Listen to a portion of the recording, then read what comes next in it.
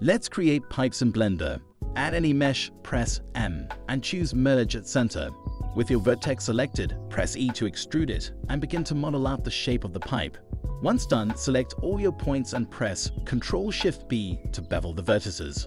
Right-click, convert it to a curve, and under the Geometry tab, give it some depth and increase the resolution amount. When done, convert it back to a mesh and give it some loop. Select the faces, press Alt-E and extrude along faces. Once done, set up a pipe material using the Node Wrangler add-on. Select all of your faces and press U Cube Projection. In the UV editor, select all the faces and using the UV to Squares add-on, select to Grid by Shape and scale the faces to the texture.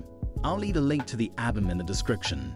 Go back to the shader editor and using the mapping node, adjust the X value to correct the proportions of the texture.